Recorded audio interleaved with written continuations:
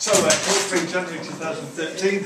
Um, this is a nice starter, isn't it? Each of the following curves, find the gradient at the point with x coordinate 2. Have you noticed how, how rarely they say um, find dy by dx? There's always some code that you have to unpick.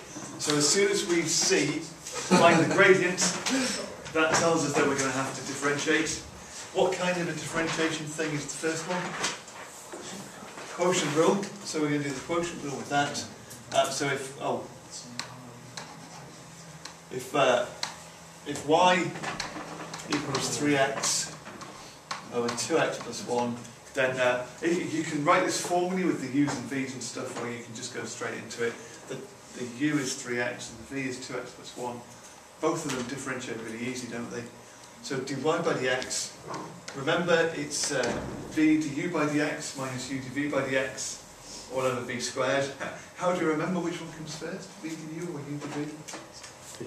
Visual display unit, brilliant, VDU.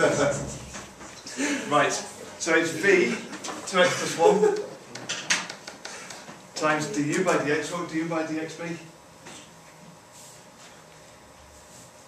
Good, you're not this morning. It's brilliant. Say 3, Joshua. 3. 3, well done, okay. Minus v, sorry, that was v du by dx.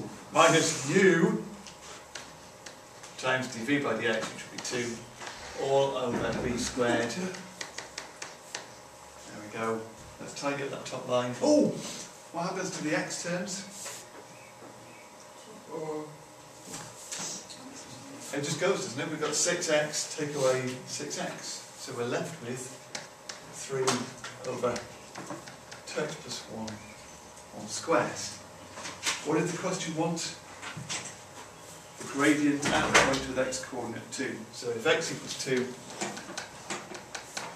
dy by dx is 3 over 2, 2 would be 4. This one is 5, so that's 5 squared. So it's 3 over 25. And we're left with that, which is a great start. Um,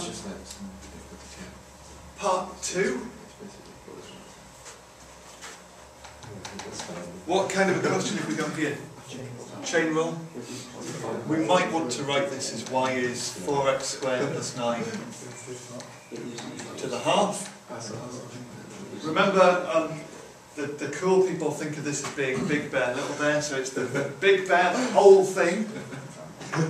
so the derivative of the whole thing is something to the half, so that would be a half times something to the n minus 1 times the derivative of what's inside. This is amazing. What's the derivative of what's inside? 4x. Is it? 8x, good. And now we just need to tidy this up. And so this is, well, half of the 8x would be 4x. And this is the, this bracket is the minus a half, isn't it? So it's divided by the square root of 4x squared plus 9. Um, the question, of course, didn't want to do other x, it wanted the gradient when x is 2. If x is 2, dy by dx is, what we got? 8 over the square root. Is that root 25 on the bottom?